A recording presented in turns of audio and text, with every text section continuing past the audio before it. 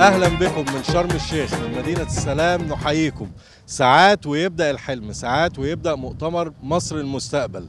ساعات والعالم هيرجع من جديد لشرم الشيخ العاصمة الدبلوماسية للشرق. العالم جاي شرم الشيخ مش علشان يدي لمصر مساعدات أو منح العالم جاي يستثمر في مصر.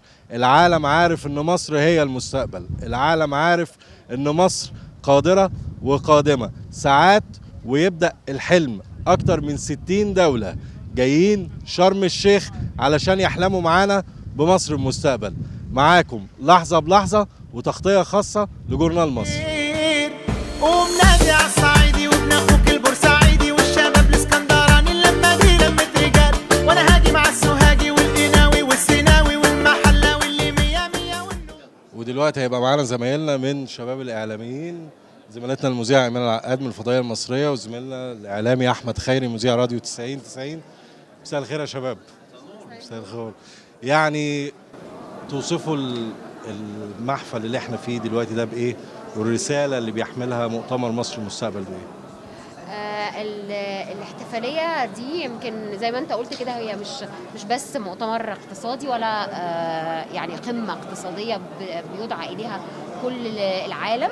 ولكن أنا شايفة إن إحنا دلوقتي محطوطين على الخريطة و on the spot فدي حاجة في حد ذاتها حاجة كويسة. الحاجة الثانية إن أنا بهيئ بقى وبوري للناس إن في مناخ آه، محترم وإن في حكومة شغالة وإن في إعلام واقف جنب ال- ال- الحكومة وعايز يقدم كل حاجة وواقف جنب ال- البلد مش قبل أي حاجة.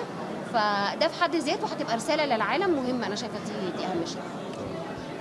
عايز أقول لك الاحتفال ده مش من المكان اللي إحنا واقفين فيه الاحتفال ده من سفرنا من مطار القاهرة في أحلى صوره نزولنا في مطار شرم الشيخ في أحلى صورة ليه شرم الشيخ يمكن أنا باجي كتير ولكن تغيرت تماما تزينت تماما شكل مفرح جدا لمصر في الفترة اللي جاية إن شاء الله بالإضافة طبعا للمؤتمر اللي أعتقد حقق نجاحاته من موافقه دول كتير إنها تحضر المؤتمر حقق كتير من نجاحاته. زي ما قال سيادة الرئيس هو زراعه مصر أعتقد زراعة مصر لعب جيم وبقى فيه عضلات كتير ممكن تحارب الفترة اللي جاية. في مصر الحضن اللي عاش يكسر بينا الحدود.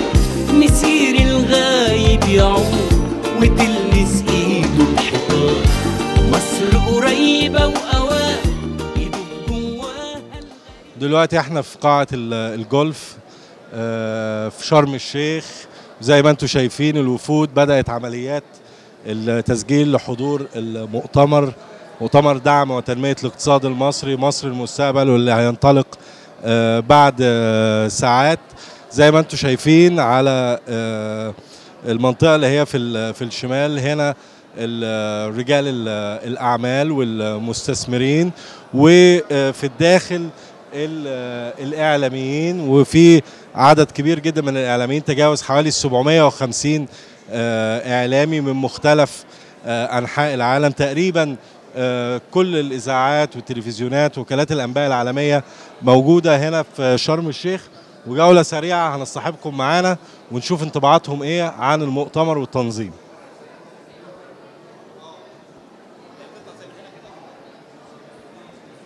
سعادة سفير نبيل حبشي مساعد وزير الخارجية للمراسم. نحب نعرف يعني آخر استعدادات وزارة الخارجية في استقبال الوفود والإشراف على الترتيبات الخاصة بكافة العملية المراسمية بالنسبة للوفود.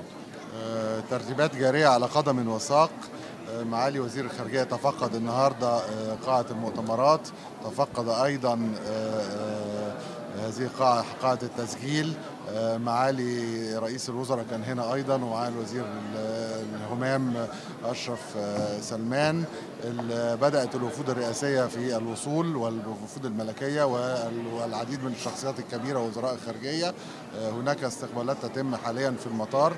آه، يستمر هذا الأمر إلى غد إن شاء الله قبل بدء المؤتمر الذي سيعني من المنتظر أن يبدأ في حوالي الساعة آه، 15 أو 16 بكرة بعد الظهر إن شاء الله. هذا الحدث يعني ما يمثله لمصر؟ هذا الحدث هو ال- الذراع الاقتصادي لمصر. هو بداية الانت... مش بداية يعني إنما استكمالا للانطلاق آه، الانطلاقة الاقتصادية لمصر. آه، نتأمل آه، خيرا إن شاء الله. وهي آه، برضو رمز آه، سياسي لوجود العديد من الدول المشاركة. آه، إلى جانب العديد من المشروعات التي سيتم الإعلان عنها والتي ستضر بلا شك آه، آه، يعني دخل آه، آه، على البلاد. وأيضا آه، ستعمل على آه، آه، تشغيل العديد من آه، آه، أبناء مصر إن شاء الله.